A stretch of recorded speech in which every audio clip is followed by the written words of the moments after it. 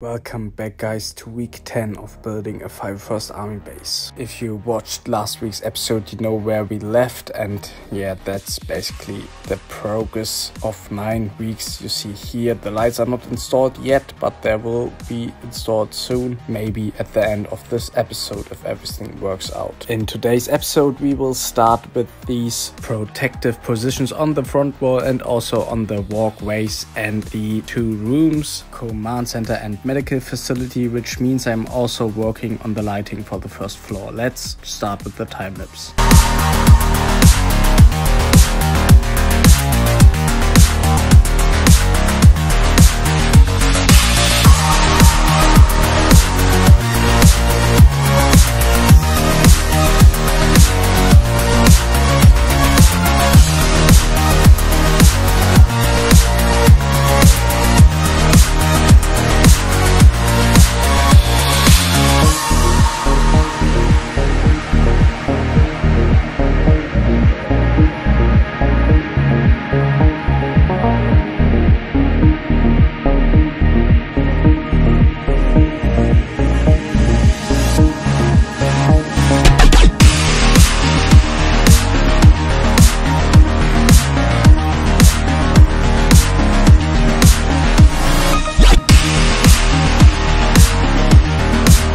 First steps of the protective positions are finished. In the last one you can see how a clone will stand in. In this case it's Seth and I also tiled most of the floors except for the two cannons above the door and yeah that's how it looks at the moment here. And now we're looking at the walkways making some finishing touches of the inside of the walkways as you can see here and I think afterwards I will be starting with the rooms of the second level and also the lighting for the floor. So as you can see now, all the finishing touches for the outside of the walkways are done and that is a complete change for the whole base because now you can't see the Technic bricks and yeah, that's the look from both sides. With that finished, we can now finally start with building the command center and also align the lightning for it. I'm giving you another time lapse, let's see what we built. main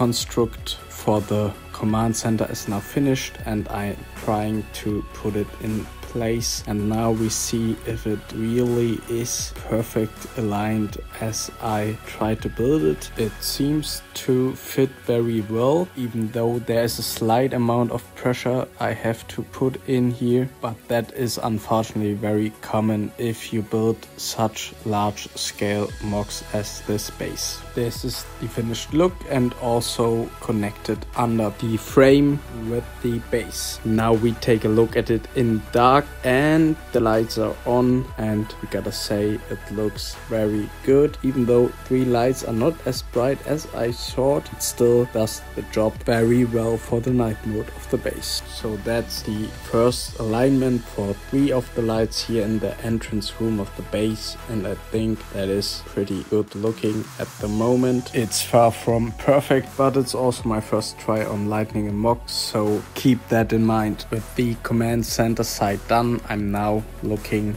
above the armory for the medical facility. I came up with this construction but after several tries I could not fit it in even though I'm sure I have a right stud count. There is some kind of pressure in this side of the walkway but that will be the problem for the next episode where I hopefully can finish the construction lighting and the protective positions so that I can finally work on the interior of both rooms. I really hope you this week's building update of the 51st Army Base. Some decent progress. The lightning also looks pretty nice. Can't wait to take on the next week's update which will be already week 11 of building the space. Have an awesome day and see you in the next video. Smash!